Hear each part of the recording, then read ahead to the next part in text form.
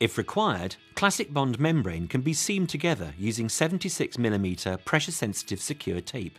This is cost effective and unobtrusive. Lay out the membrane and allow it to relax prior to adhering it. Typically, half an hour is sufficient, but this will vary depending on the ambient conditions. Allow an overlap of at least 75mm. Mark the point where the outside edge of the top sheet overlaps the bottom sheet. A masking tape can be applied approximately 10mm beyond the outside edge of the top membrane to create a neat edge for the EPDM primer. Fold the top membrane back. Hold back in place prior to applying EPDM primer. On dusted membranes, primer must be applied with a scrubbing pad. If the membrane is factory pre-cleaned, a brush may be used. Scrub primer into the surface, ensuring it is applied to the entire target area. Remove any pools of primer to create a thin, even coat. Ensure it is applied to the entire target area. The target area of both membranes need to be primed to ensure a good bond to the tape. Ensure hands are clean and dry before moving on to the next stage.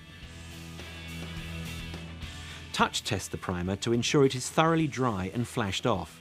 It shouldn't leave a fingerprint or transfer to your hand.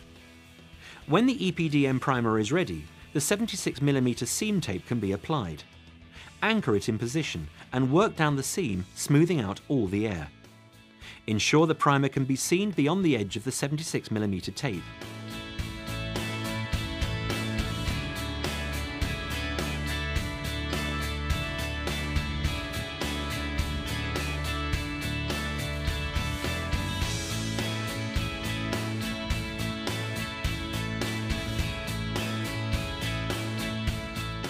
When this is fully installed, the top membrane can be positioned over the seam.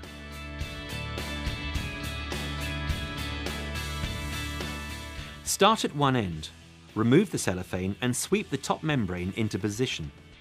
Drive the air out from the side of the seam, again working down the length. This ensures the membranes seat correctly.